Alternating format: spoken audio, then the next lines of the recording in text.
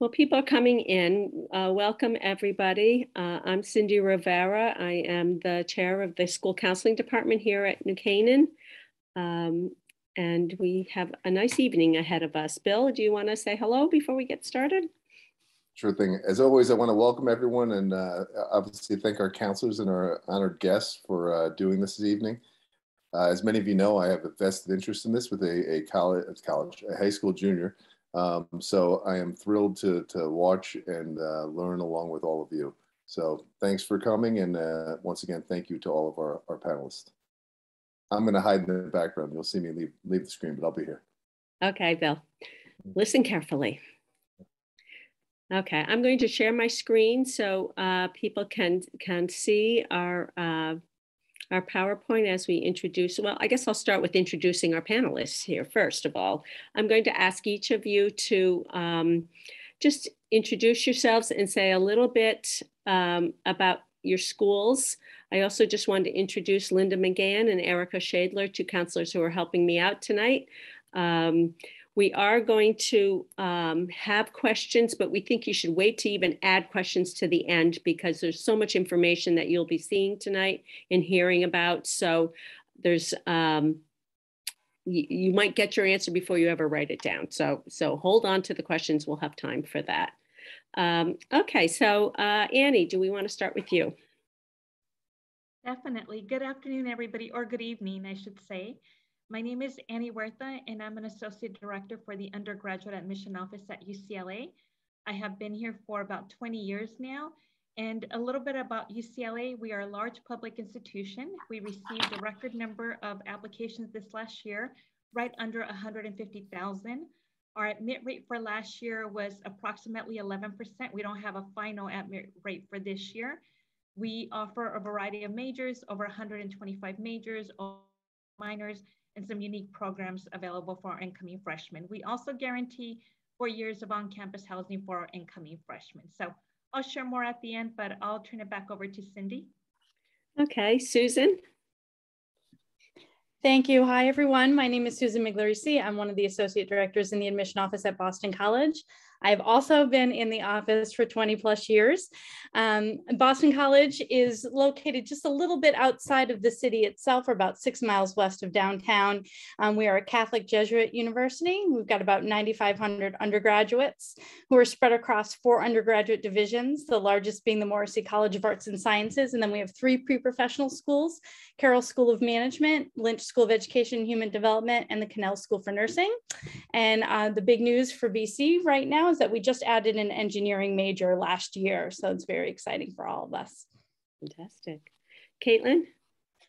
Good evening, y'all. My name is Caitlin Provost, and I'm the Northeast Regional Director of Admission for Texas Christian University. I'm based full time in an office in Northampton, Massachusetts, and I work with all the students from the New England states and New York.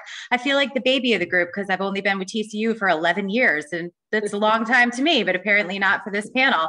Um, a little bit about TCU. We are a mid-sized liberal arts and sciences institution. Um, we've got about 10,000 undergraduate students, so that real, real sweet spot in terms of size. We have about 115 different majors, so a ton to choose from.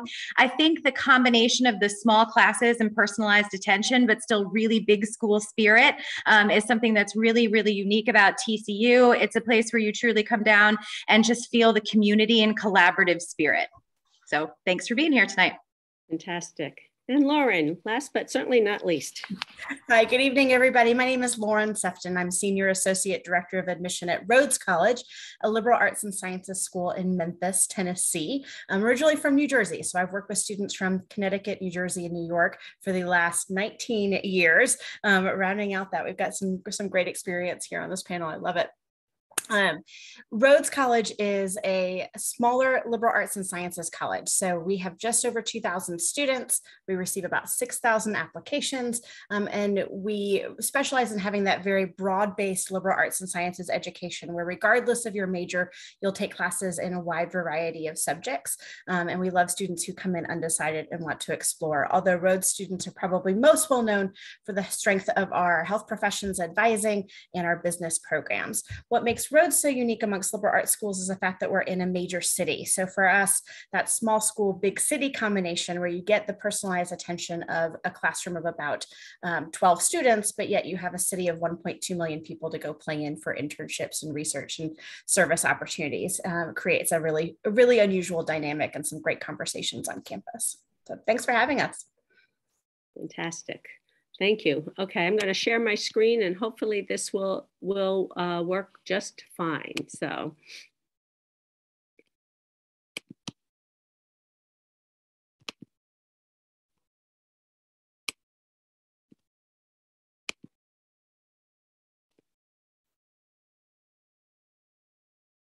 There we go.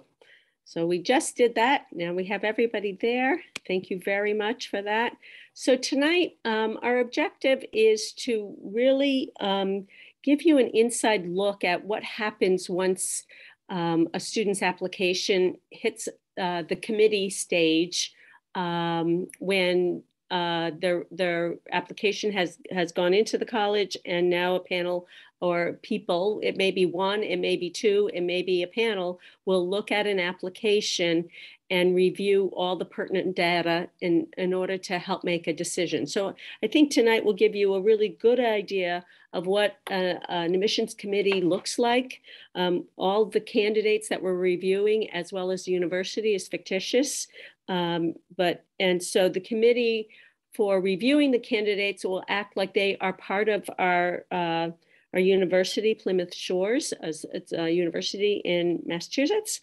Um, but at the end, then we will try to also go back and really talk about how each of them might have reviewed these candidates differently from their own point of view um, as we go through this. All right, so as we go through, they're going to review it and, and really talk us through what's important to note on an application. We're going to start with uh, what we hear a term often called, uh, uh that's uh, what's called a holistic review. Many universities say this is what they do. So I'm going to start with um, Lauren and Caitlin and have them really talk about what is holistic review and how do you, uh, what factors do you consider when looking at that? Or at least the most important ones. And we know that all of these things have some level of importance to the application. I was going to say, yes, all of them are important. I think um, when reviewing holistic applications, we're certainly looking at all of the individual aspects of an application. But um, in terms of my experience with review, I kind of look at it as a large pie chart. Um, and the academic section is going to be about at least 60% of that pie chart. Um, yes, we want students to come in and have a wonderful, well rounded experience and be a great fit at our institutions. But the number one factor we need to consider is setting a student up for academic success. So we do need to make sure that they are going to come in, you know, and perform well in the classroom and be fulfilled by our education. So to me, I think I almost kind of combine GPA and curriculum just into a transcript. So the transcript is the number one thing that I'm looking at in my review. Um, how you do in courses, your grades, your grade trends. Did you stay steady? Did the grade trends go up? Did they go down? Um, also, the strength of curriculum. Uh, we don't need to see students coming in with 27 AP classes because that would be just crazy. Um, but students who excel in certain areas, we want to see that they're challenging themselves appropriately. And if a student is really strong in a certain area and they're not taking advanced coursework and it's offered, that kind of gives us pause. And we say, hey, you know, why is that the case? So, really, um, the trans- transcripts is going to be the number one thing. If this were a few years back, I would honestly probably say that test scores would be number two. But you know, in the space that so many colleges are in now, um, having gone either test optional or test blind, I don't think that weighs as heavily um, into review anymore, which is something that I think is great. Um, I think intended major is something that's often very big for schools. Uh, certain majors are just more competitive for admission than other majors at different institutions. I can tell you, for example, at a TCU, it's going to be business, pre health, and nursing are like our really most competitive programs. So I'm looking at the transcript and almost taking it up a notch for those individual individual majors. Um, and then after that, it's really kind of a combination of all of the rest. So, you know, those letters of recommendations, the essays, um, I wouldn't even necessarily say demonstrated interest at this point because I think that that's more of a piece of context at a lot of schools. Some schools work that, you know, that very differently, but for schools who do like a holistic review, like a TCU, that's going to be more of a point of context. So I would say, you know, the extracurriculars and all of that are kind of taken and put in together to make up the rest of the 40% of that pie chart. I agree. I agree very much with what Caitlin said about the academics being the core of a student's profile, because again, we're setting you up not just for success your first year at, in this case, Plymouth Shores University, but also um, all the way graduating four years later. And we do want you to graduate in four years. Um, one of the things um, that is important to know if you are looking at liberal arts and sciences colleges, intended major makes no difference in the application process because generally you are applying as an uh, you are applying to the college and you won't actually declare your major till the second half of your second year. And so for some schools it's not going to matter what your intended major is. We're interested in knowing it because it allows us to connect you with resources and opportunities and professors and students of like-minded academic interests but it will have no bearing on the actual admission process especially because we know that your mind might change once you once you get to college or you might have no idea what you want to study and that's okay as well. Um, on top of that academic piece that Caitlin was talking about, we we really are trying to figure out what kind of citizen are you? What does that engagement look like? And we know, especially over the last two years, that academics look different and engagement looks very, very different. And so um, something to keep in mind, all schools are reading applications through COVID grace, if you will, um, and trying to pay attention to how did you get involved with your community in what ways that you had available to you. And again, that looks different for everybody. It has always looked different for everybody. Some students are really engaged in a job and um, supporting family or taking care of friends and families and neighbors, and others are involved in leadership or theater or student government. There is no golden magic key activity um, that that schools are necessarily looking for um, that we can provide for that. Again, that's that holistic review. Um, and then I will note for demonstrated interest, Rhodes was a school that that heavily factored demonstrated interest um, pre-pandemic. So I can I can be testimony that we want you to be invested in your own college search.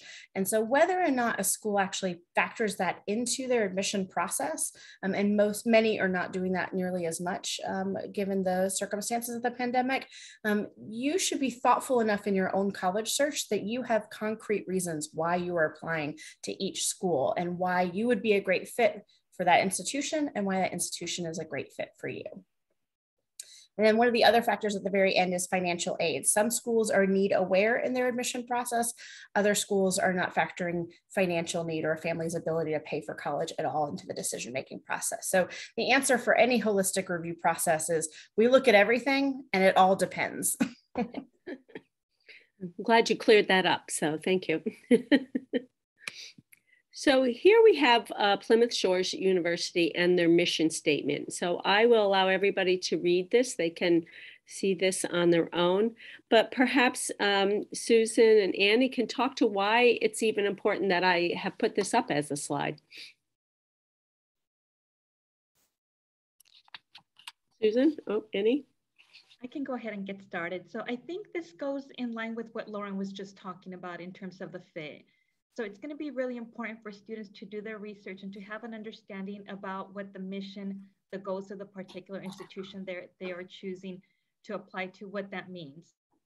So in looking at Plymouth Shores, at this fictional uh, university, some things that really stand out right away for me are that it's a research institution, that we're looking for students that are going to be curious learners, for students that are going to be critical thinkers, for students that want to engage in research.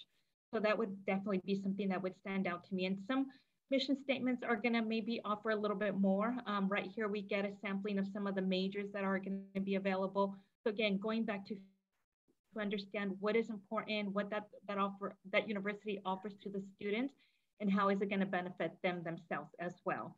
Susan, is there anything else that you would add? Sure. I mean, I think that was perfect. The only thing I would add to is kind of the academic piece of this really plays into the mission at a lot of schools as well. And one of the things that I often say to students about BC, and I think about a lot of liberal arts institutions, is that we're very cross disciplinary in nature. Um, and so I always, and when I'm looking at students and looking at their academic passions and their interests, I want to see that they're a student who connects to that. And, you know, with Plymouth Shores, that's the same thing. Um, seeing that their academic profile, both the courses that they've chosen to take, um, what their teachers have to say about them and how they engage with the classwork and their peers really lines up with the mission of the institution.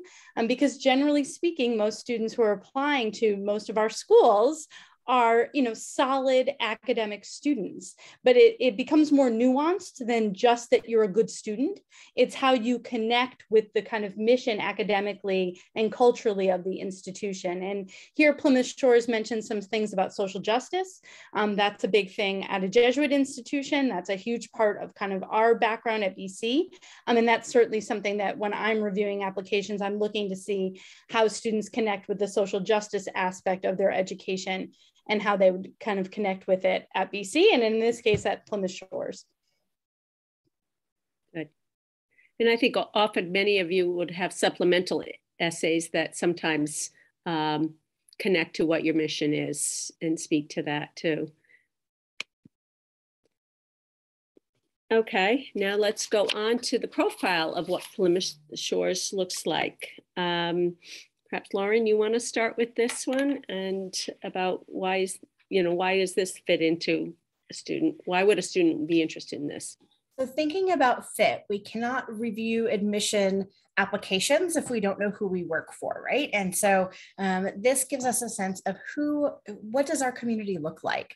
Um, and you can see we have a, a nice medium-sized um, school with a focus on undergraduate education um, that's about as close to 50-50 as we can possibly get it. Um, about a third of our students describe themselves as multicultural, and we have a very residential campus. So you can imagine that engagement in our campus community is important. If you want to think about it, we're trying to figure out um, in our admission process all the students that are going to sit around one giant dinner table. Um, if, if you could expand your our college cafeteria, our Plymouth Shores cafeteria to one giant dinner table, and we want to make sure that everybody has is bringing something to that table. And it's somebody that you're going to want to sit with and talk with and engage with and maybe disagree with and push push the boundaries a little bit in some of those conversations. You can see that we have a, a fairly small student professor ratio. So we're looking for students that are going to engage with their professors um, as well. And i'll let caitlin talk a little bit perhaps about athletics and and following that um, motto. Yeah, absolutely. So I, I think that at least one of the applications we're going to go through um, is really going to be interesting in terms of this athletic piece. As you can see, um, men's and women's lacrosse and track and field are Division One, and so that is a completely separate process from the rest of the Division Three sports at this school. Um, once you start bringing in Division One athletics, we're talking about you know the NCAA and you know full recruited student athletes and sort of what that means between admissions and athletics. So it's definitely a piece of context to keep in mind, um, you know, as we're we're looking at all of these. I think aside from the profile too, it's really important to note that you know every year for every college there are certain institutional priorities um, that that we are looking at. So for example perhaps plymouth shores started a new special education program this year and they really want students to come in and fill that major. That's something that we're going to be you know keeping an eye on. Or perhaps every single bassoonist in the marching band i don't even know if there's bassoons in the marching band but you know isn't no longer with the, you know the school or graduated last year. Perhaps you know we're we're looking for students to join that marching band. So those are things to keep in mind too. And, and I also want to say that from year to year, institutional priorities can shift and they can change. So just because a school was looking for a certain thing one year doesn't necessarily mean that that's what they're looking for the next. So as you're going through, you know, your college lists and looking at all of that, just keep in mind that, you know, a student who was admitted with your profile last year may not necessarily be the student that is admitted this year too, because, you know, things do do change from year to year.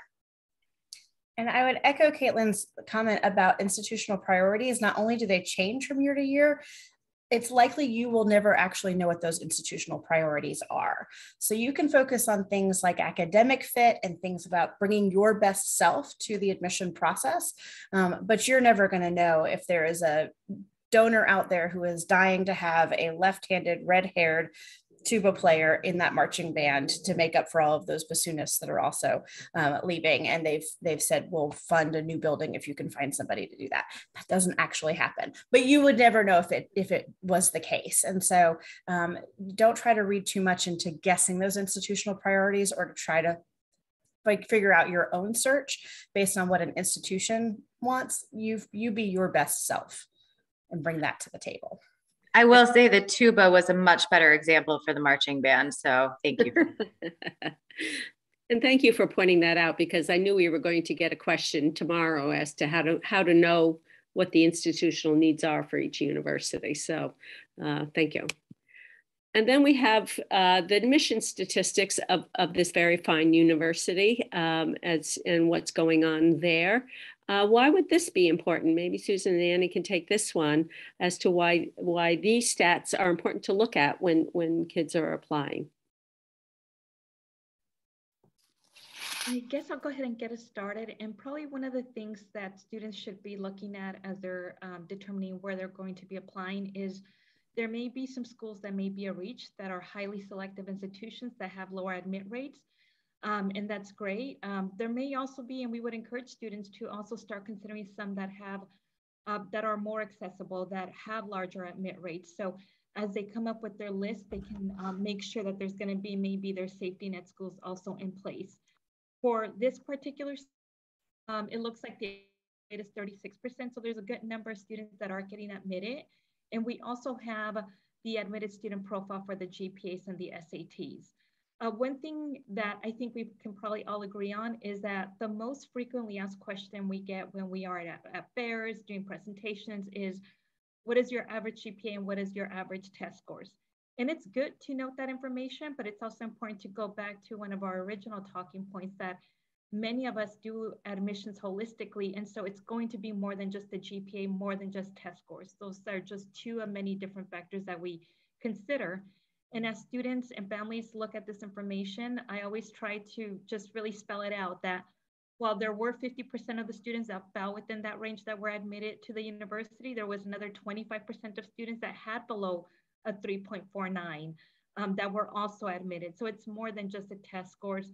Um, but again, students do want to be looking closely to make sure that they have a wide range of um, institutions that they want to be considered for. Susan, do you want to talk maybe about the other two points? Yeah, for sure. Um, and I'll also kind of go back to the the rounds um, because this school, Plymouth Shores, has early action and re regular decision. Um, really important to understand how schools are functioning in terms of their deadlines. Um, you know, there are school, schools that have both early decision rounds one and two. Um, there are schools that have early decision and early action, um, places that just have regular decision, places that are rolling decision. So it's really important to understand of the schools that you're applying to kind of how they run their process.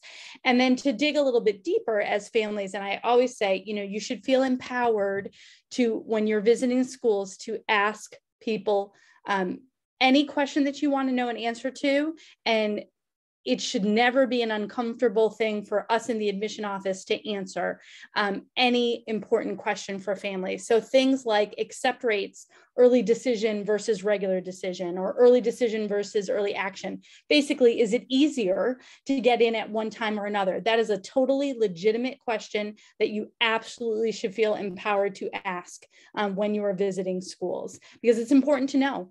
Um, if, if there's an advantage to apply at one time versus another at a particular institution.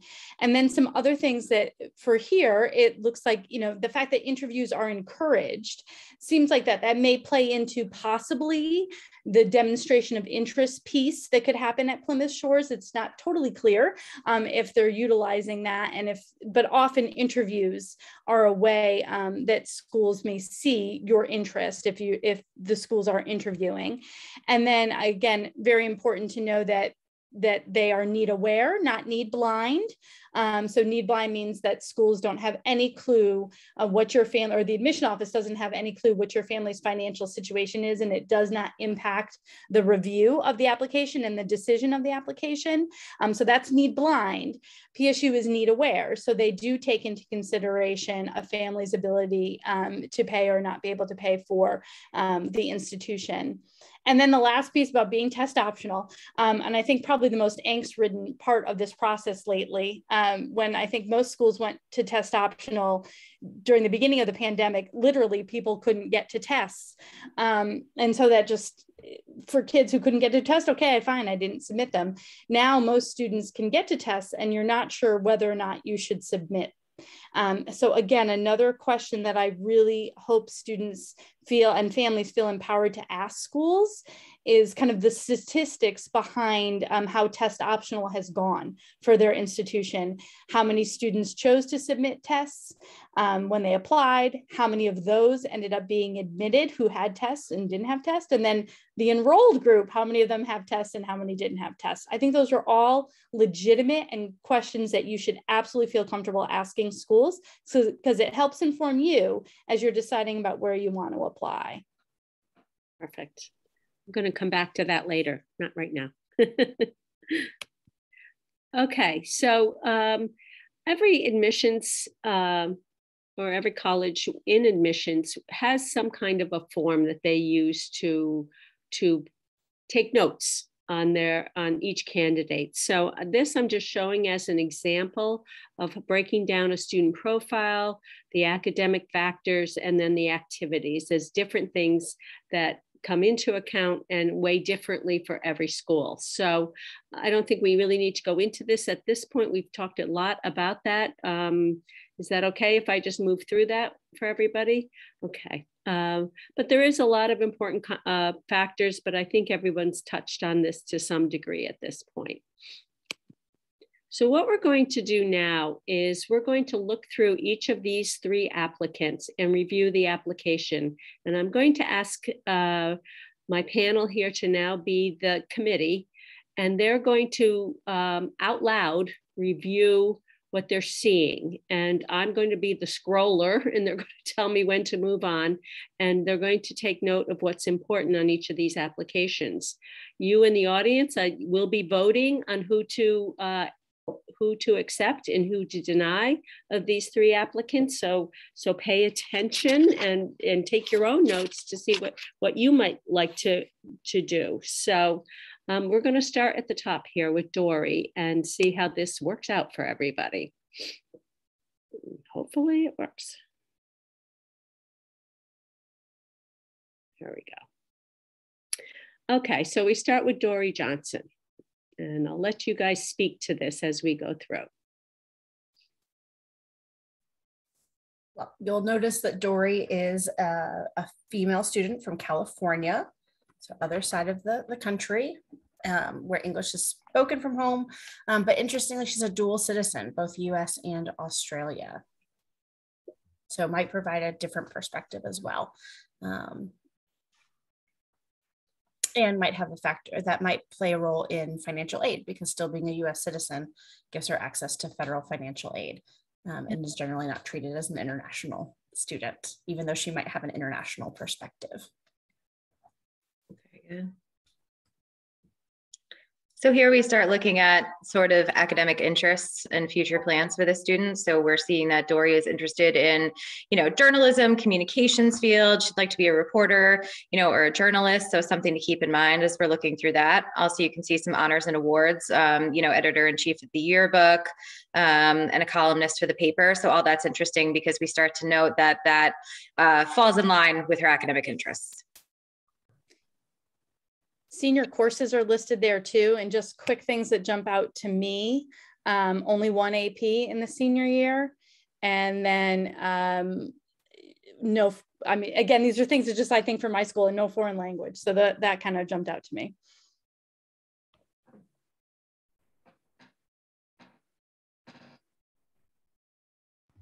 So a 31 composite ACT, which is within that mid 50%, high mid 50%.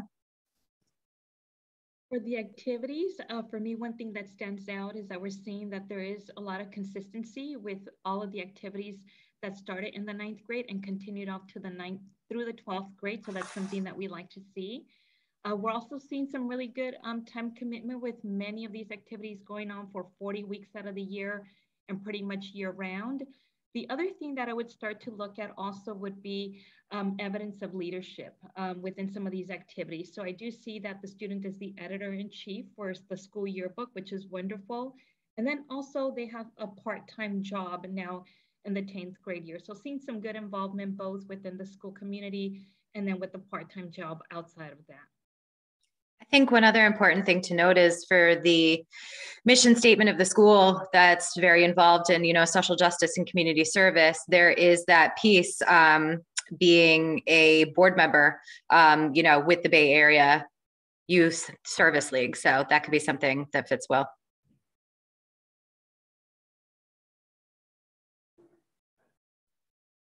Oh, the meat of the the meat of the application where we get to see that academic um, piece that Caitlin talked about being so critical. And every single college or university is paying close attention to those transcripts. And you can see um, she's got a mix of B's and C's at, at, in the beginning, and then she has a bit of a turnaround junior year um, with no C's, but has switched to more of an A B student and has added a little bit more rigor. So she's got a few honors in 10th grade and then adds a one AP in junior year and um, has one AP and one honors in senior year. So uptrend in grades and a slight uptick in rigor as she progresses through high school. Journalism all four years is an interesting piece.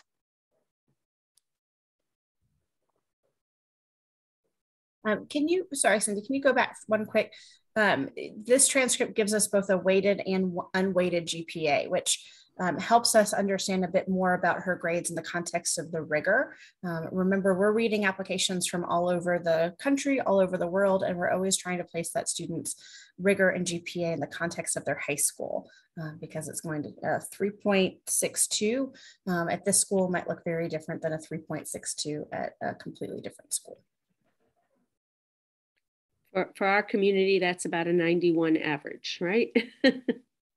we, we are on 100 base, so we don't always understand that. Okay, now we're getting to her personal essay. So I don't know if you panel got a chance to look at this ahead of time, but perhaps you could comment on what's what sticks out here. I thought she had a lot of detail and, and voice in um, through the essay. So, and she wants to be a writer. Um, so that's helpful to kind of put that in the context. Um, it for me, it's a little formulaic with the different masks, though very prescient with the pandemic. Um, but I think in general, the writing it, I really lends itself to somebody who wants to be a writer in the future. Generally with essays, we're looking to see can you write well? Um, and then also what is your personality shining through? What are we what are we learning about you as a as a human being? Um, and hopefully we're learning a, something about the student. Um, and she's certainly opening up and sharing a lot of information with us but i agree the format feels a little bit a little bit gimmicky to me. You could tell that the student was looking for a unique hook here. And it it hits, but yeah, a little gimmicky.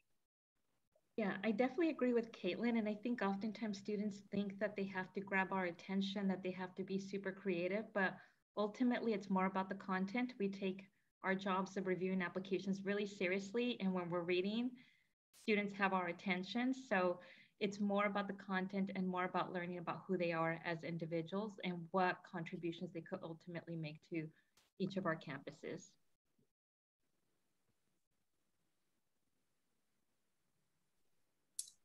You'll note that she is applying regular decision. Remember, I think Susan shared a little bit more about application plans, and she is not applying for financial aid. So Plymouth Shores being a need aware university, that's something we would pay attention to perhaps.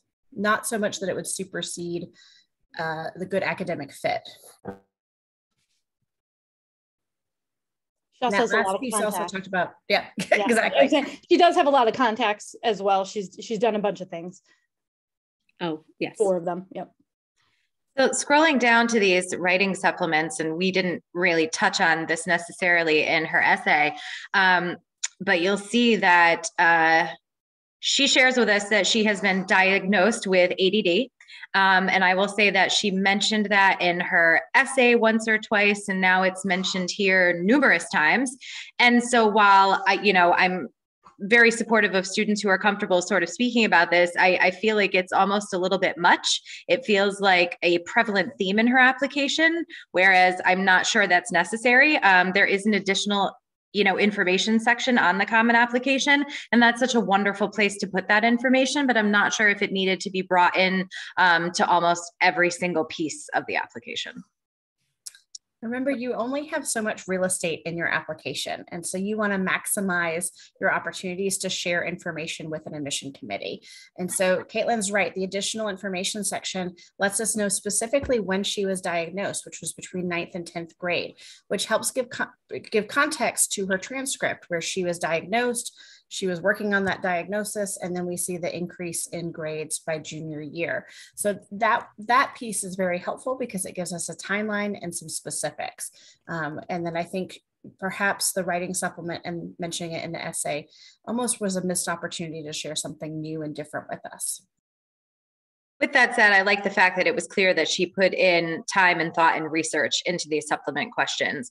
You know, we as college admission professionals ask applicants these questions because we want to know that you're taking this process seriously and that you're very interested in our school. So the fact that she goes into extreme detail, um, I thought was really impressive. There's no way that why Plymouth Shores would be a cut and paste. She couldn't drop that into yeah. another school's application. And you guys take note of that, I say, I would say, of being cut and pasted.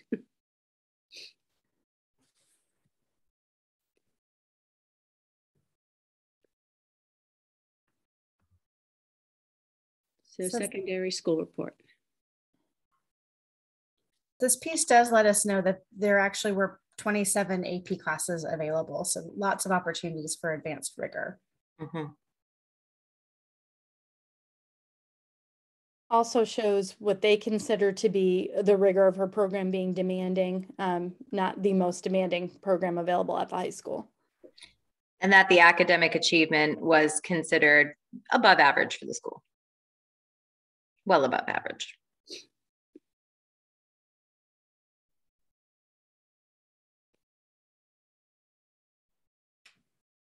Letters of rec. So this is from the counselor.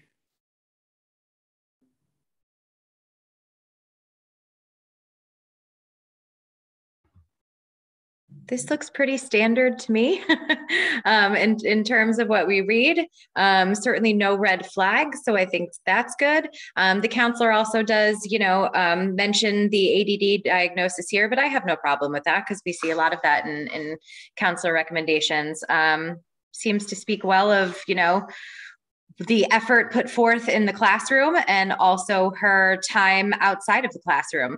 Um, and they talk a lot about the real girls in the real world blog. And that sounds like that's like a really true passion, you know, for the student. Um, so I read this as a solid standard recommendation. Also, I would just throw out there that, um, you know, depending on how universities review applications, um, for some places, they review by territory. So, you know, we know the high schools extraordinarily well, kind of know them by the back of their hands. Some places don't, or there may be a new staff staff member in the admission office. So, kind of the framing of North Point High School and explaining um, how the what the high school is like and, and how the students kind of engage in that high school is very helpful in context to understanding what's happening beyond just looking at the GPA off the transcript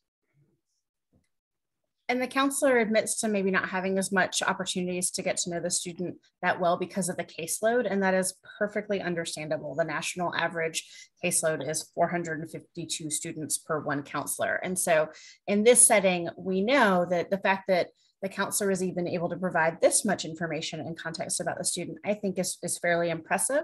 Um, and that we'll also dig a little bit more deeper into teacher recommendations because those those are school professionals that have had more interactions with Dory than the counselor has been able to do. And we don't hold that against the applicant at all. And then we have the teacher rec.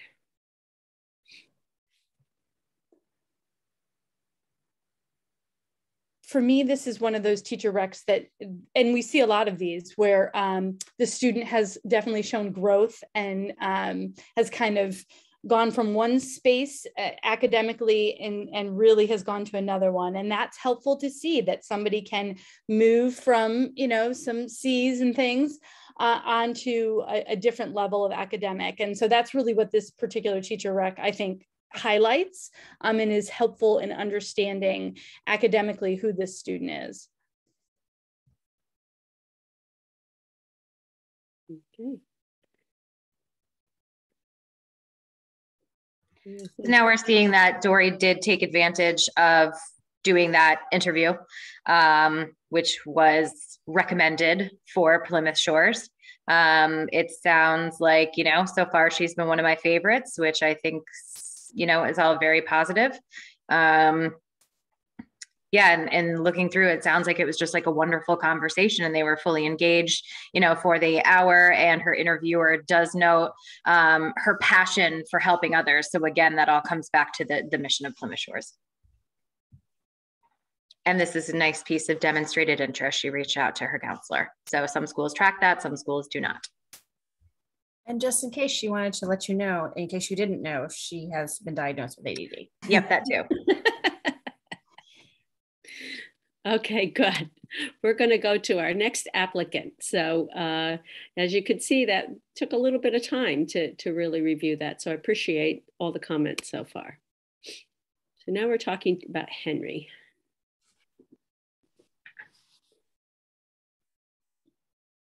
Okay. So Henry is coming to us from California. Um, this is a student from an underrepresented background who speaks two languages. So that's something to note because a lot of student or a lot of schools will know if a student um, has another first language. Um, keep scrolling here. Very good a lot of times schools will note if a student is first generation. College, they're the first in their family to attend college or their parents, or if their parents, both parents went to college, just trying to get a, con- again, put the student's uh, academic journey into context.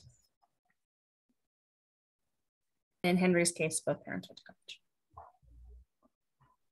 What's standing out for him right here, um, and we'll likely see this later on in the transcript, but we do see that the student was dual enrolled. So it looks like he went to UC Irvine and took uh, some courses there. So it's great when we see students really going beyond the curricular opportunities available to them at their school and either taking maybe courses over the summer at their local community college or another institution. Um, and these are pretty significant courses, multivariable calculus, introduction to linear algebra, and so forth. So really great um, academic um, rigor of those courses that the student has taken and the interest in robotics, all of this is starting to coalesce with his STEM interests as well. Yeah, we see that the major was computer engineering, so definitely um, probably most, if not all, programs for schools of engineering or engineering majors are going to be looking for that strength in mathematics and science as well if it extends beyond the classroom into the activities.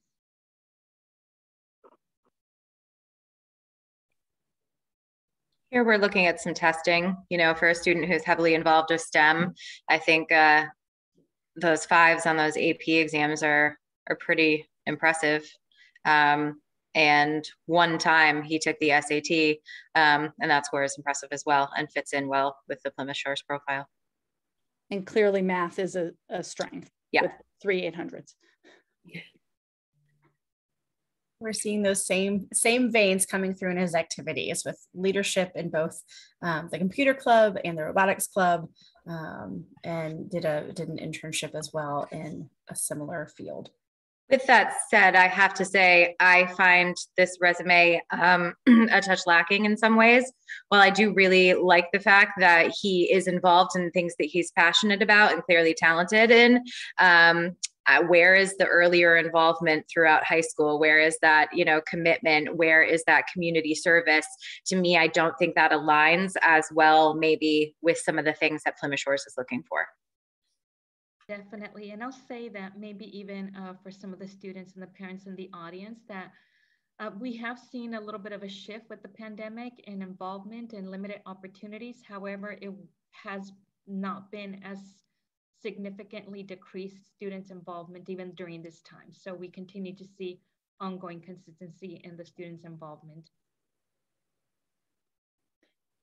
In terms of the transcript, you clearly again see where there are strengths in science and math, um, but not strengths in English and history and, and kind of more the social sciences. So going back to Plymouth Shore and its mission, um, it, it is more of a liberal arts institution. And while it does have, you know, majors in business and engineering, they still, one of the things they focus on is, you know, strength across disciplines. So interesting to see how he'll fit academically um, with the institution itself. Yeah, and just to go off that too, I think that at these liberal arts schools, yes, you end up choosing a major, and he's obviously very interested in STEM and could graduate with that major.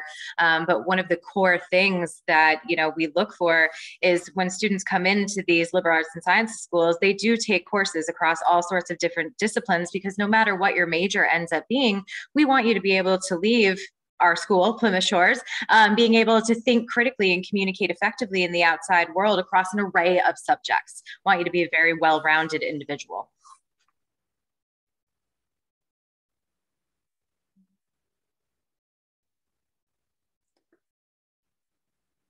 In his essay, one of the things that struck me when I was taking notes was this app that he developed um, for his grandmother that ends up helping or that he wants to help other Alzheimer's patients with um, is very, very interesting and unique and definitely stood out. Um, and it's a great spot to talk about it in his essay. Also, could have been put in the resume area. Um, that was another spot where that could have gone. Uh, but this was a really unique um, essay because he had done something a bit different that he was highlighting. Yeah. And it shared some insight into his personality and that there is uh, a heart for for service that maybe wouldn't have come through in just looking at his resume. All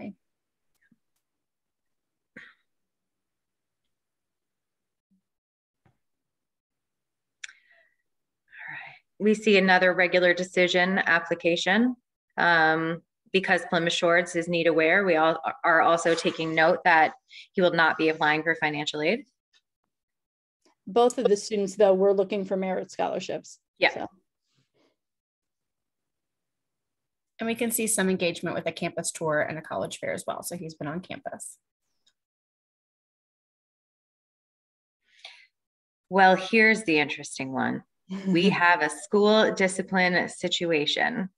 Um, I'd be very curious to hear, you know, the thoughts of my fellow committee members on this one because I am of two minds personally.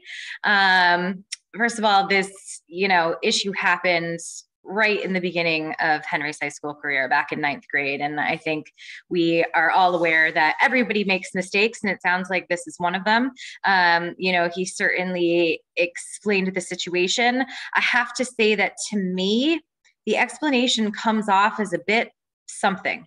Um, the fact that he said, I plagiarized, sort of, that's not really taking ownership of that. And at the end, it's talking about how he was embarrassed by it. Um, are you embarrassed or are you truly remorseful? I can't really tell from this response. So I'm not saying that this is the end all be all for me with this application, but it's certainly something that I'm going to keep in mind because I just don't know from this if he's taking full responsibility for his actions. Totally agree. The sort of doesn't sit super well. Agree as well. I am, um, I think it's to Henry's benefit that this happened in ninth grade. So he's able to show growth or at least indicate that there's not a trend or a track record of um, academic dishonesty. And we'll see later in the council recommendation that the counselor su supports the um, the explanation and indicates that there that this is the only time that Henry's work has been in question. So I, I at least feel confident moving forward that the, that a lesson was learned, whether it was truly remorseful and taken to heart. Maybe we could have worked on this explanation a little bit longer. Annie, you good with that? yes, definitely. Teachable moment for the student probably could have done better in explaining it and taking uh, ownership. Okay.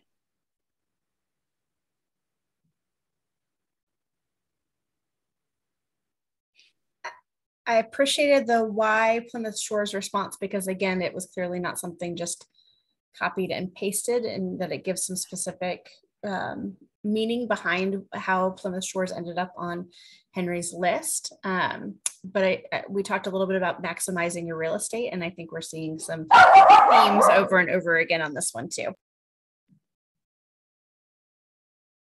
I thought this top five list was really interesting. Part of me is like, oh, wow, like this student is just so into the STEM field and so into, you know, the inventing and the innovating.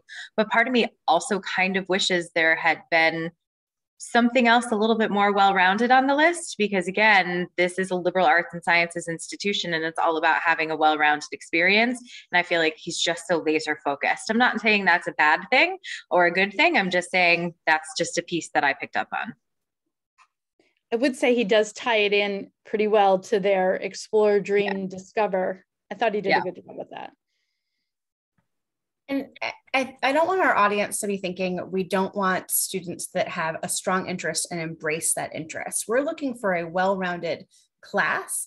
Everybody, every applicant in that class does not necessarily have to be well rounded. Lots of points go into making the spokes of a wheel and create that well rounded class. So, um, just to just to say we we are looking looking at both aspects. But i would throw out there for this student you know there is the thought is the student particularly better served at a university that is technically minded right? So that that's another question too. You know are you better at an rit or you know whatever that would be in the fake world? Um, that, that that's kind of the question that, that i would have. Definitely agree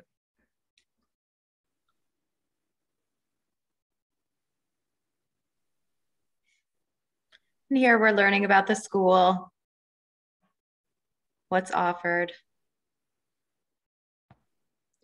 I thought the descriptors were yeah. hilarious. Sorry. No, I would say just just kind of an you know schools do know the how many students attend four year colleges and how many attend two year colleges. That is something that we do pay attention to too. Gives you some background about what what's happening in that particular school. It looks like the curriculum here is considered very demanding and the academic achievement is outstanding, so in the top 5% of students. It also is interesting to note that the extracurricular accomplishments have a much lower rating.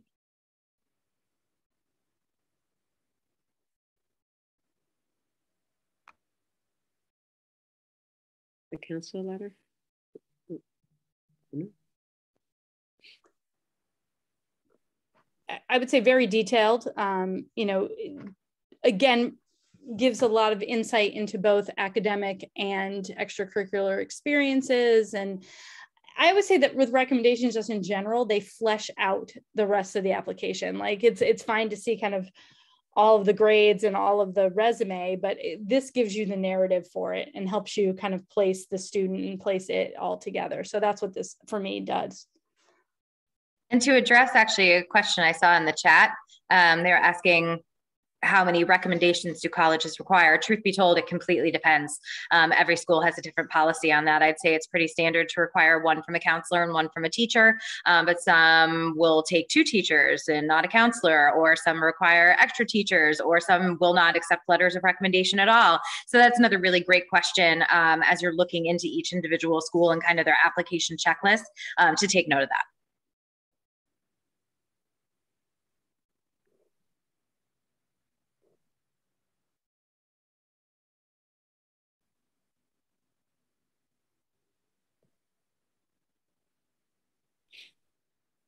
So we, we would have been really surprised if we had not gotten a math recommendation letter for this student. So, so this, this makes a lot of sense.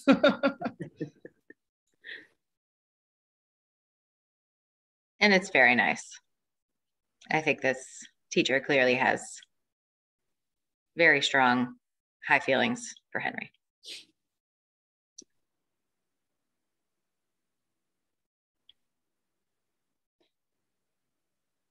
Another student who took advantage of that suggested interview and sounds like it went very well.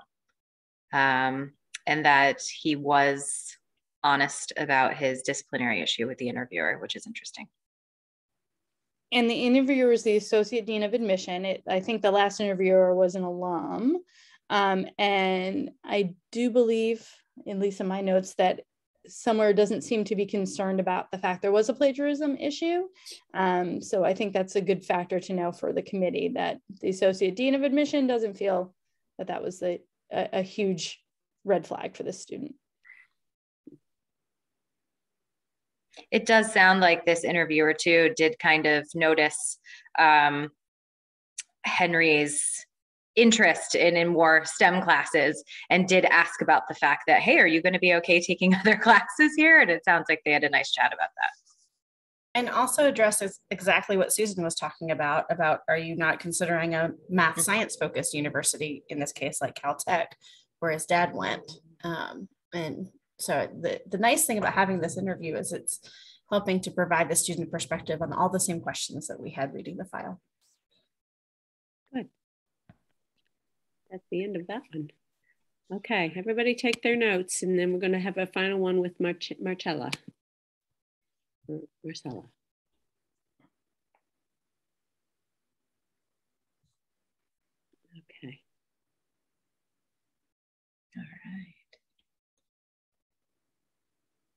Noting a couple of the same things that we did in the last application, um, that both English and Spanish are a first language for the student and does come from an underrepresented background.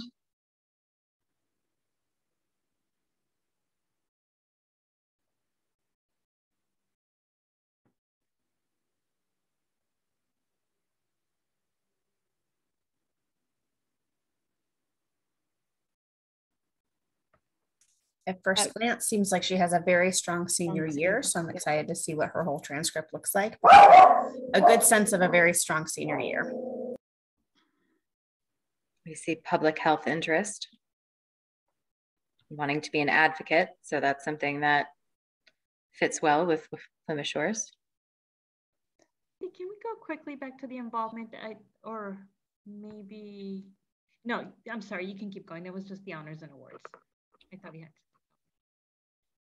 So even though Plymouth Shores is test optional, we've got test scores for all three applicants, and you can see we've super scored test scores here as well.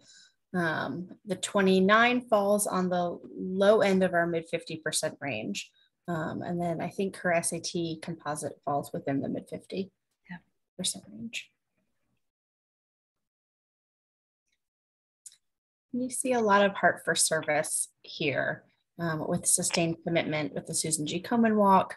Um, and then also in addition to service, you get the balance of um, leadership and athletics uh, as well and leadership with the education club. Coupled with balancing a job, but only one week at a camp. I would have liked to have seen a touch more service for what it's worth. Um, that was only, it looked like from that, a commitment that was a few weeks a year. But it is there. And I think we, we learn more about that involvement and engagement later on in the application. So again, maybe a missed opportunity here to explain it where if we're quickly reading through, we might kind of gloss over it. Um, and that's a missed opportunity for making an impact. What really stands out here is just the 10th grade performance. And when I see something like this, I would hope that as I go through the file, uh, letter recommendations and so forth, that I'm there's some insight into why there was a drop um, from just one C, mostly A's and B's in ninth grade to quite a few C's Now they are bouncing back and um, given that they have a very rigorous program, it would be interesting to see what was going on back then, if there is any explanation to be given.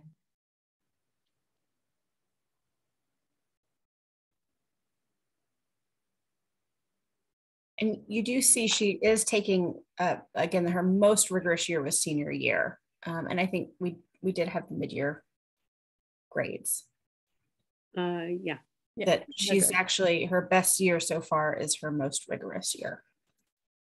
If I'm being honest, and I don't know the policies of the school, but I'm almost surprised she was able slash qualified to take so many AP classes um, with maybe not the strongest grade trends previously.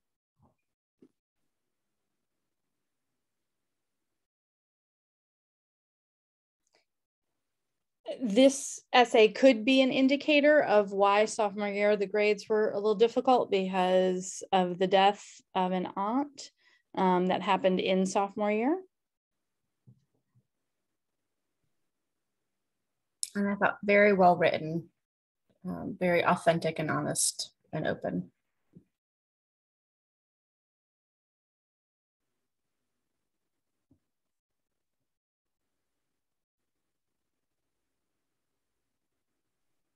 So this is another regular decision application. And we do note here under the need aware policy um, that Marcella is applying for financial aid and merit scholarships. And the aunt who passed away went to Plymouth Shores.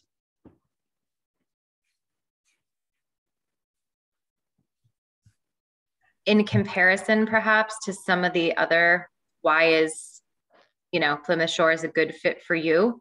Um, I wasn't quite as impressed here. Um, you know, it talks a lot about, you know, her aunt attending and, you know, all of that, but I, I don't really see why she's saying it's going to be such a great fit for her.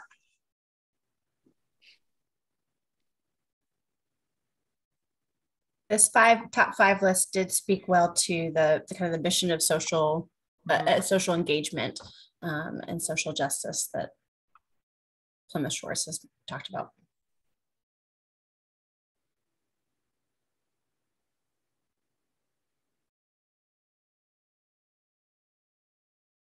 So with 12 AP classes offered at the school, it's, she certainly, especially in senior year, took advantage of that coursework.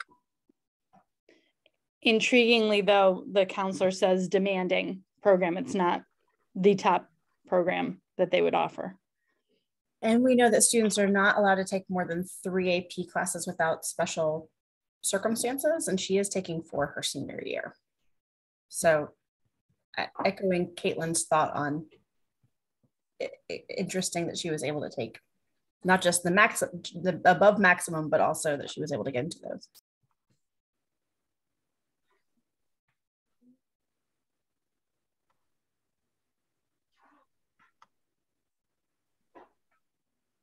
So I think this counselor recommendation letter is critical to understanding a lot of Marcella's transcript. When you read the circumstances in the second and third paragraphs, you have a much greater understanding of the role she had to play with family responsibility um, and have more of a, an idea of the background. The fact that she was balancing full-time responsibilities and taking care of, of, of a household while juggling academics and frankly her aunt passing away.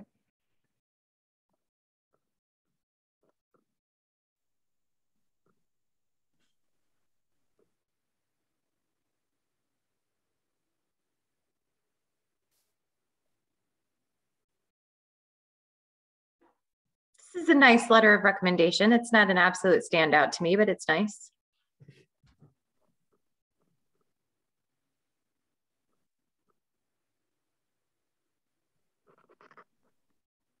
Ah. Here is the interesting one here. So it appears that the track coach at Plymouth Shores is interested in this student um, joining the team. However, um, it's been a fantastic year for them for recruiting. So all of their technical recruited athlete spots through the NCAA have already been taken. Um, so this really wouldn't be a recruited athlete situation coming forth. Um, I think would really depend on Plymouth Shore's, you know, stance on preferred walk-ons and you know things like that. But it it I think this would be a whole different kettle of fish if this student was a technical recruited NCAA athlete. Yeah, it seems from what we're getting from here that the coach is like, oh, we'd love to have her if you admit her, um, but they're not putting any of their kind of um, eggs in, in her basket at all. Yeah. Um, so she's really not recruited. So had she been a recruit where the, the, the coach was putting in saying, I want this student, then what happens then?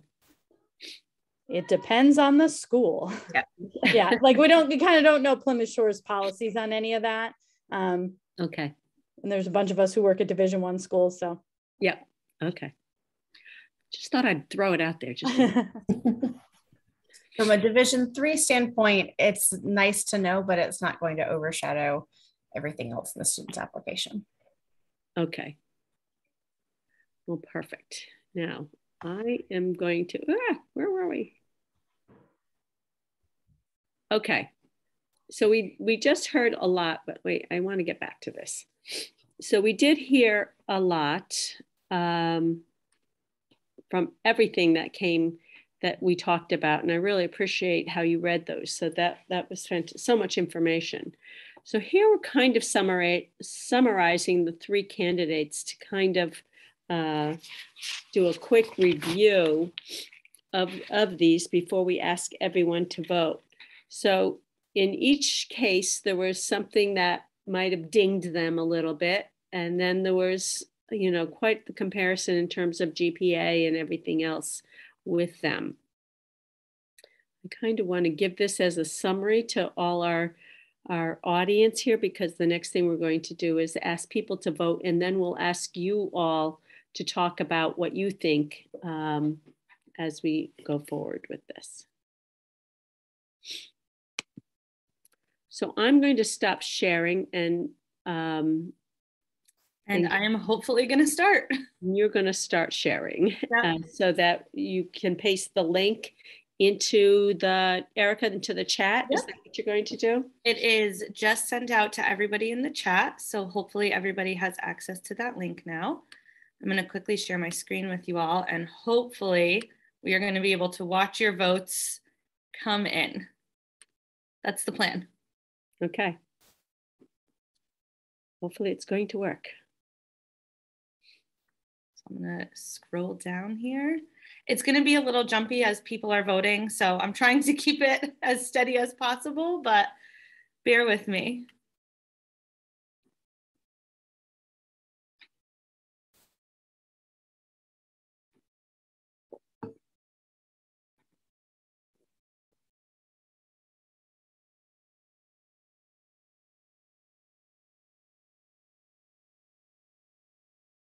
My goodness. Now I'm it's jump- jumping. Yeah, I'm sorry about the screen. I can't seem to make it stay still, but Are you doing the scrolling? I'm scrolling to try to make Okay. it so that you guys can see it. But unfortunately, when a new vote comes in, it brings us back Mm. to the top. Okay, we'll give everybody a minute here.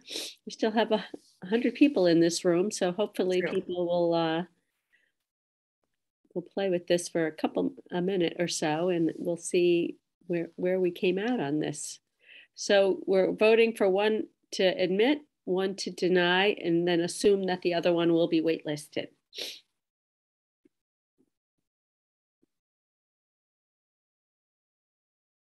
Oh, that clear, almost 50 responses. Oh, there we go. 50 responses. Good. What we all love about this is seeing that there are wonderful attributes that all three applicants would bring to any college community. Um, it's fun to think about the possibilities.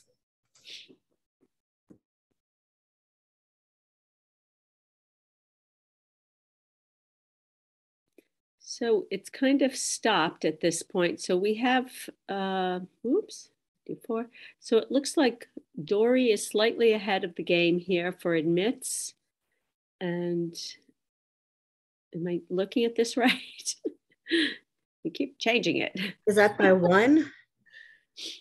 Or it kind of evenly split fine. between Right Dory now, and Marcella? even. Poor Henry is getting the uh, bulk of the Henry's denies. I will say Henry is. Poor And would Henry. you deny?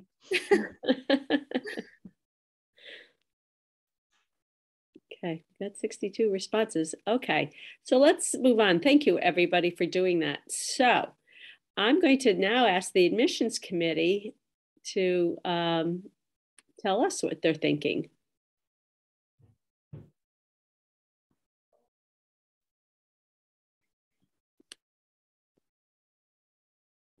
You want us just to vote, Cindy?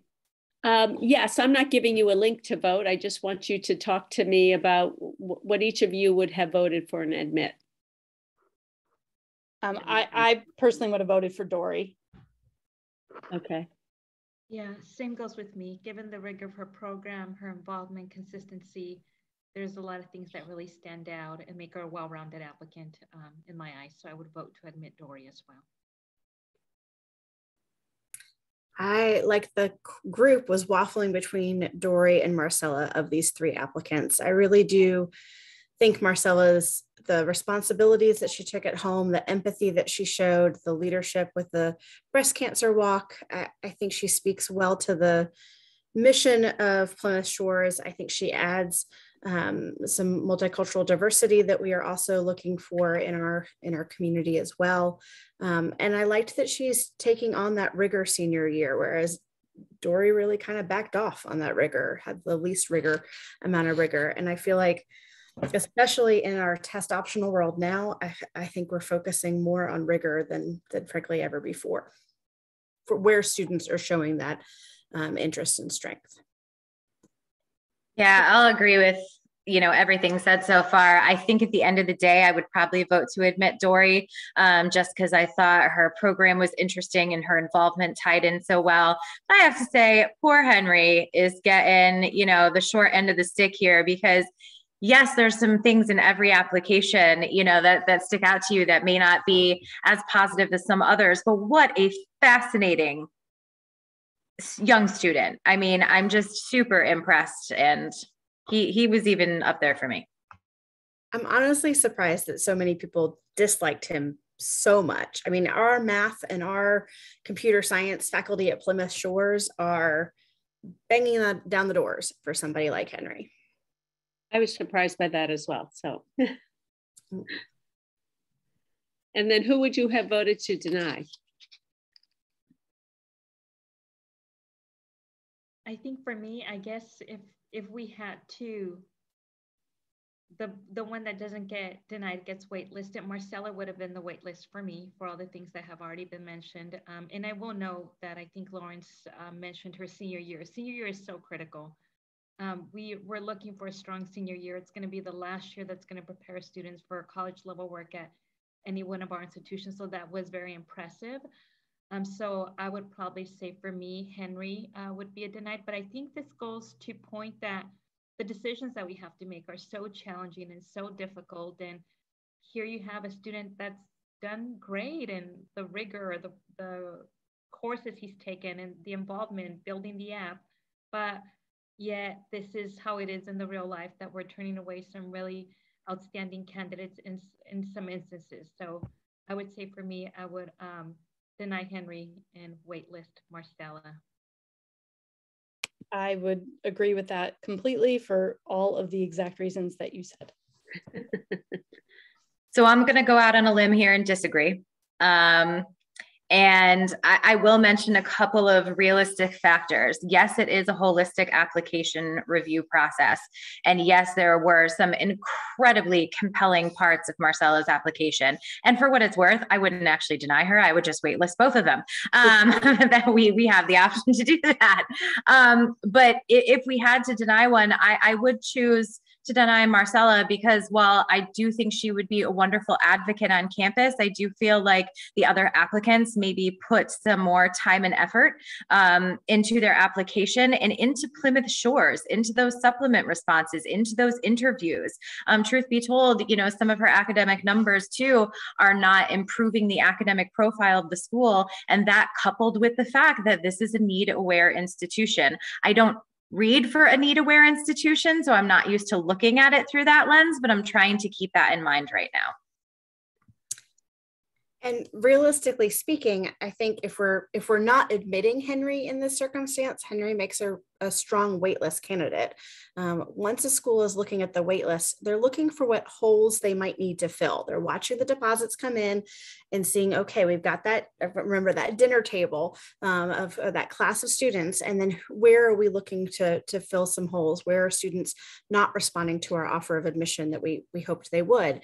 And in a lot of cases, that could be because Plymouth Shores is need aware, somebody who doesn't need financial aid um, like Henry. It could be somebody for increasing our multicultural diversity.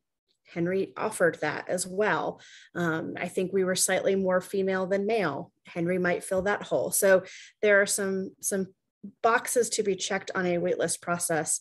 Again, that have nothing to do with individual applications and everything to do with institutional priorities and making and meeting a class um, that Henry might offer some opportunity there. All very good points. And it just goes to show, I mean, how complicated this can be. And then you do it thousands of times in a season. Um, I just know when I was reading this, by the time I got to the third one, I'm I'm kind of zoning out. So I, am sure that happens for you too. At a certain point, you're tired, and uh, you have to put it away and start all over again the next day. The good news, though, is that all the applications go through multiple reads. There are different sets of eyes on a file. So even if I'm tired or cranky or I didn't have my coffee this morning, Caitlin did, and she'll be looking at the file next. Or um, Susan can go in committee and be like, hang on, let's take a closer look at this at this student. So there can be opportunities to balance uh, balance some of that out. I just want to jump in and say, depends mm. on how every school does this. We do not do that at BC at all. Um, we are single reader. I've had my schools for 20 plus years. I've had New Canaan forever. Um, and I don't personally get, um, I, I, just adore what we do and I adore everybody's stories and, and that you kind of have to be built to do that. Um, so I was that kind of kid in high school and I kind of liked all that kind of work. Um, but I, I, the point of all of that is that every school does this differently. And mm-hmm. again, empower yourselves and ask how do you make decisions at your institution? Is it committee? Does it go on to a second reader? How does it work at the institution? Public schools work totally different, you know, things like that.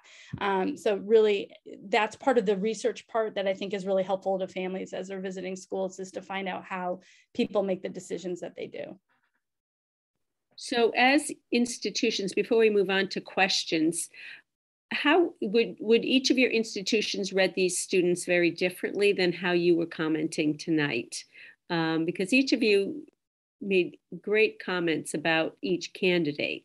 So were there certain factors that wouldn't have come into play for you? Uh, obviously the the scores for most of you and things like that but otherwise would there have been a different read from your own standpoint I'll say that I, I may be the one outlier here on the panel tonight that it would have been a very different read for us at UCLA um, because there are certain things that we just don't have access to. So we do not review letters of recommendations. We do not consider demonstrated interest. We are um, blind, so we don't take into consideration whether somebody can or can't afford uh, UCLA or will be applying for financial aid. Uh, we also don't have early decision and early action. Um, so essentially every single application is reviewed at least twice in its entirety. And there are some additional reviews for students that are along the borderline, for students that appear to have high GPAs but are gonna be denied or low GPAs and are about to be denied. So there's quite a few quality control uh, reviews, but we still do look very carefully at GPA, the curriculum, the rigor, the context of the school, um, how students have chosen to take advantage of those opportunities, the involvement, the leadership, and, and we do have four personal insight question responses that students respond to. So we're really looking for them to advocate for themselves. Whereas maybe with other schools that allow for letters of recommendations, the counselors, the teachers are able to do that. In our process, it would be the student letting us know any additional information that maybe that person would have shared on their behalf. So definitely uh, slightly different for us. Uh, we also do look at um, student and family demographics, first generation, low income, um, we have other factors uh, that we consider uh, in terms of the school environment. So just to give you a sense, it, it would have been, we would not have, have had access to all of this at UCLA, all this information. Thank you. Okay. I was just going to say for BC, while we would have, we actually require two teacher recs and a guidance counselor rec, and, and that is a big part of our review process. Um, we are need blind as well and we do not look at demonstration of interest. So that wouldn't have been a factor at all. And I, just me being me as the single reader, the transcripts were driving me crazy. Um, I just academically, nobody for me felt good. so I would kind of agree there. We are need blind, so I would not be looking at any of that information there.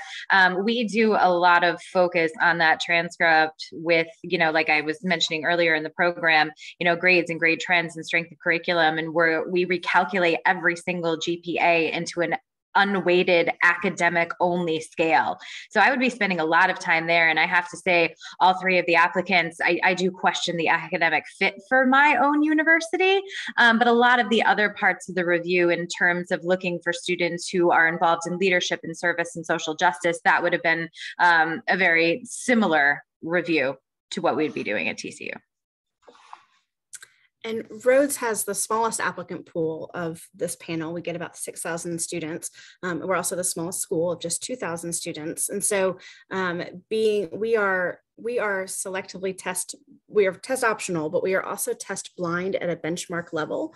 So for a student who has either a 28 or higher or 1300 or higher test score. We just know that they submitted test scores and they've reached that benchmark, but we don't actually know what those are. So for example, Henry, who was really hanging his hat on some high test scores um, in some ways, we wouldn't have even notice that necessarily um, because we are spending so much more time on the transcript and the rigor of the curriculum and the grade trends. Now, Henry at least took advanced level rigor um, in a way that some of the other applicants did not um, in the areas that they were they were strong in. But we do partner reading, so every application is read the very first time at least by two people, and it goes through at least two reads, but honestly many times three reads. So um, we do spend a lot of time honing in on that.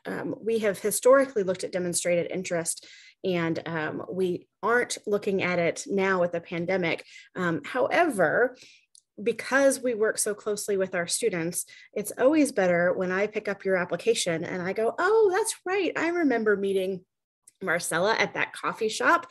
Um, that was so fun. She had such a great conversation. And then I'm thinking individually about that student because um, we are in a position where we can really build those relationships and connect you very early on. Um, but not every school is going to have the luxury of being able to, to spend that amount of time. Great, great. Okay, let's get to some of um, our questions uh, that have been coming up. Does anyone, uh, Linda, are you sure. doing those and seeing what sure. we got? There's a couple questions, and while we'll wait for uh, any anybody else to put them in the Q and A, um, there is a question about uh, demographics with parents, educations, and jobs. Uh, we noticed in the review that you did note some things about citizenship and um, where in the country they lived. How important is it um, to note uh, a parent's education and jobs, and what do you do with that information? So the common application has left that let that be a lot more optional as to whether of how how much detail you want to share. I think for some, it's it's interesting. Um, is it going to factor in with an admission decision?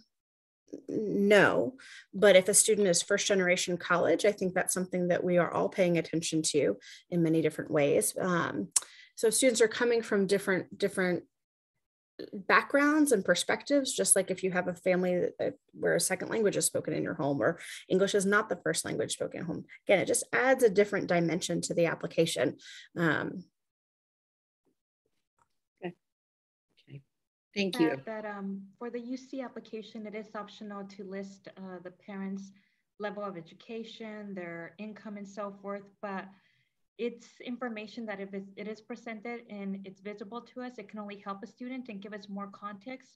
It would never hurt a student for us to see that there is high income, that a parent might have a postgraduate degree and so forth. So it won't be used to negatively impact a student um, is what I really wanna make sure I get across. But it is Mm. optional at the end of the day. And just uh, for people, if they're concerned about uh, showing that they're legacy, children of alumni, that kind of thing, there are other spots in the application where you can do that too. In the Common App. Right. Okay. Um, in view of what parents deem um, the competitive nature of uh, the application process, uh, one of our um, attendees would like to know about paid college counselors, how they fit into this process, if at all, on your end. I find them incredibly easy to spot. Yeah. Um, having done this forever, and Annie and everybody else probably can spot it too. Um, and it you lose voice. You lose authentic voice if you rely too heavily on somebody massaging and taking care of your application. Um, 45 year olds sound different than 18 year olds, and it what's the point? I, I re- this is your process, and I want to hear you.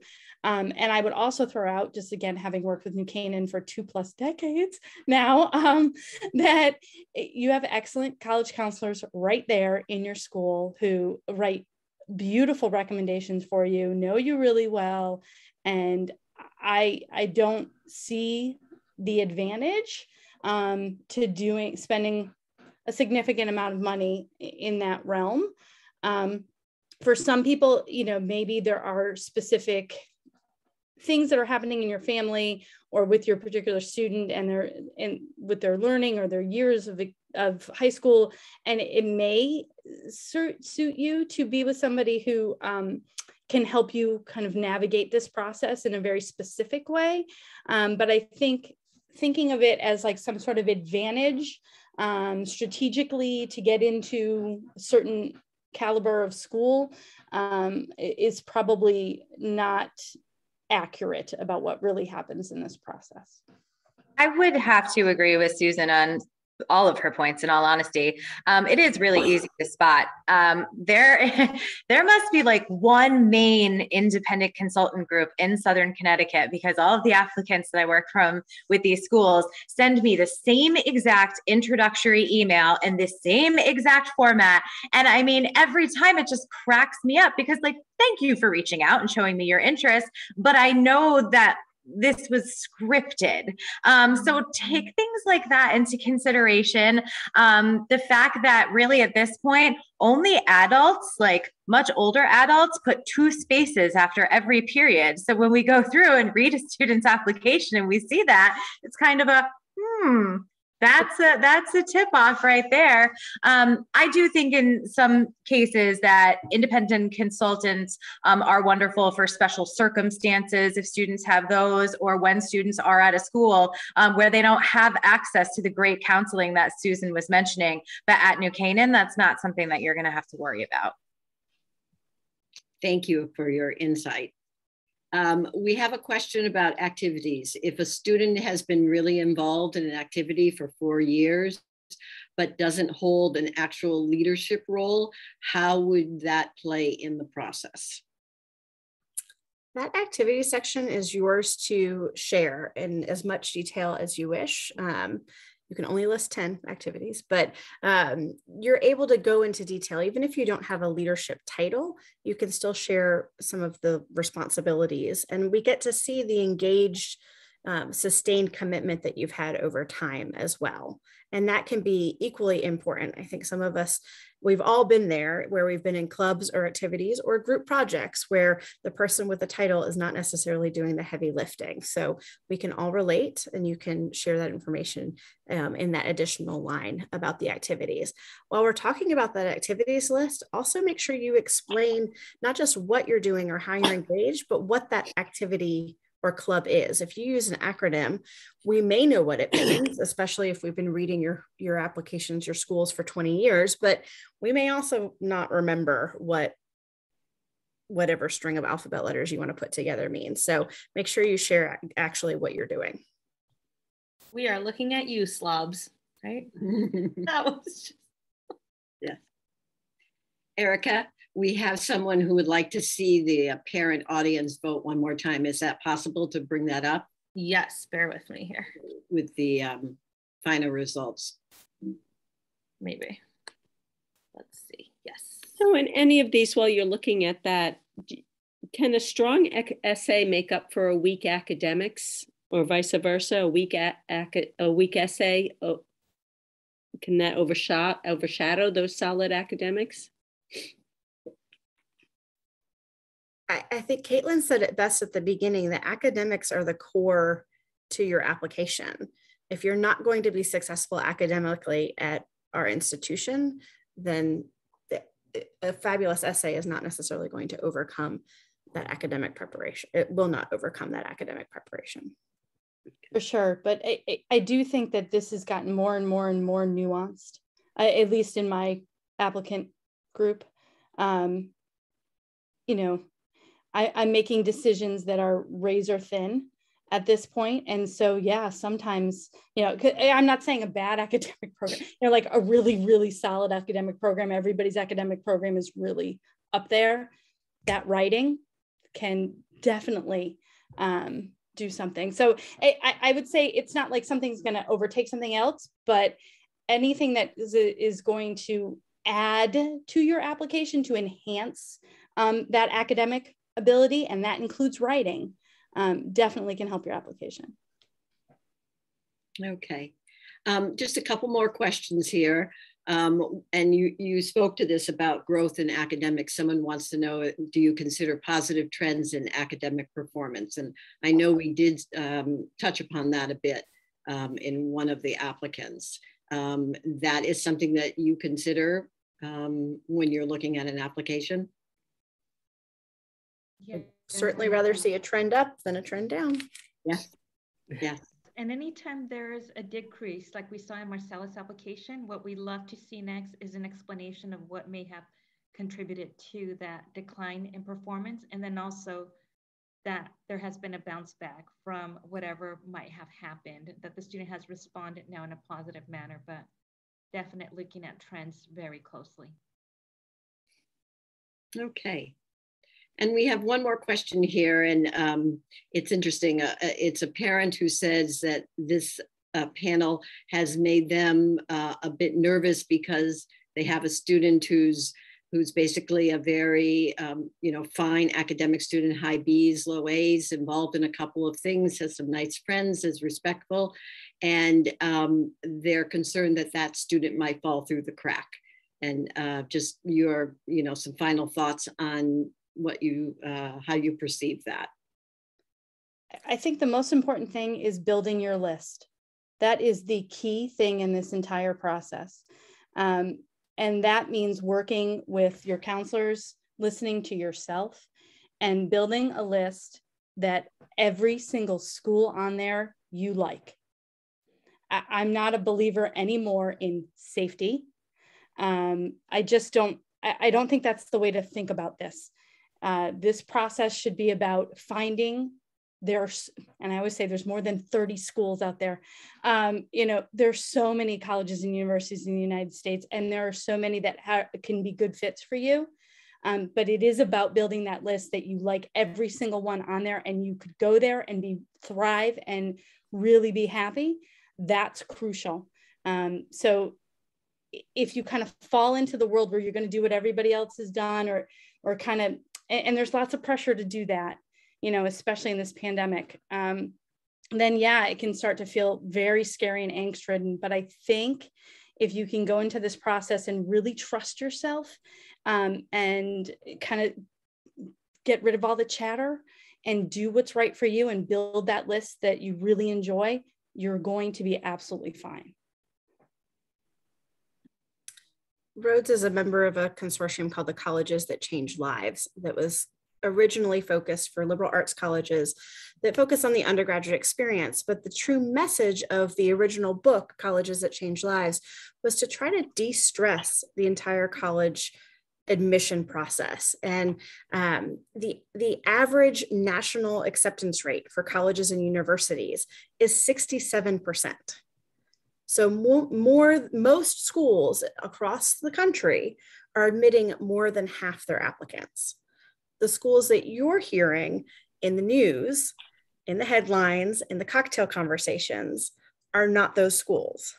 But the majority of schools in the US actually admit more than half of their applicants. And so um, Susan's right. This is about fit and really expanding your mind, expand, keeping an open mind through your entire college search and focusing on where are you going to be most successful and where are you going to be happy. If this pandemic has taught us nothing else, this is the time for you to figure out what, what are the positive things that you want to really move forward um, and be excited about for the next four years um, and leave the rest of that behind. One last thing I'll add to that is, um, and I have to have these conversations with students and families every spring, but it's more, and you know, once they get over the disappointment, it's more about making the most of that opportunity at that particular institution that you're going to choose. Nothing will dictate whether you're going to be successful or not successful based on what college or university you choose to go to or admits you, but it's ultimately how you're going to make the most of the opportunities given to you at whatever institution you choose to go to. Yeah, I would agree with everything said. And just to sort of bring it back to something that we highlighted a little bit earlier in the program is again, remember those institutional priorities.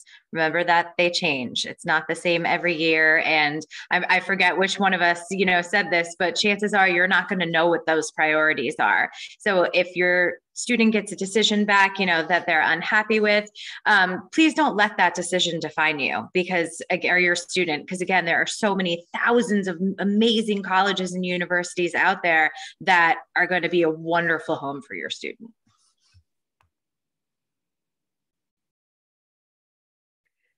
Well, good. I think that covers it, right?